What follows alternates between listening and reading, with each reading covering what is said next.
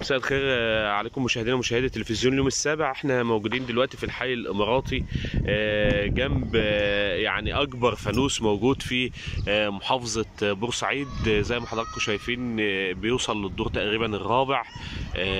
واللي قام عليه يعني بعض الشباب هنا في الحي الإماراتي ومعانا يعني صاحب الفكرة الرئيسي بترحب بحضرتك على تلفزيون اليوم السابع وكل سنة وأنت طيب. يعني قول لنا بس الفكرة كده جات لك منين في الأول؟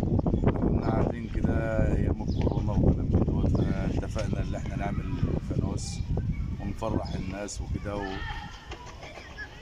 واتفقنا كلنا يعني في العمارة اللي يبقى نفرح يعني كلنا وكلام من ده فهي دي الفكرة اللي اجت فأنا نفذت الفكرة عملتها وقمت منفذها.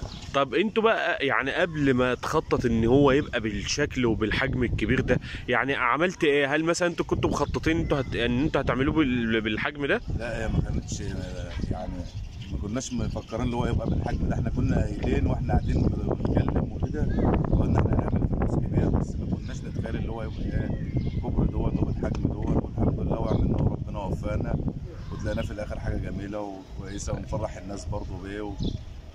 اخد منكم بقى شغل قد إيه؟ يعني اخد مننا شوية اما جهزتوا بقى وجبتوا القماش. وال... وهو حديد الأول ولا خشب؟ حديد. آه.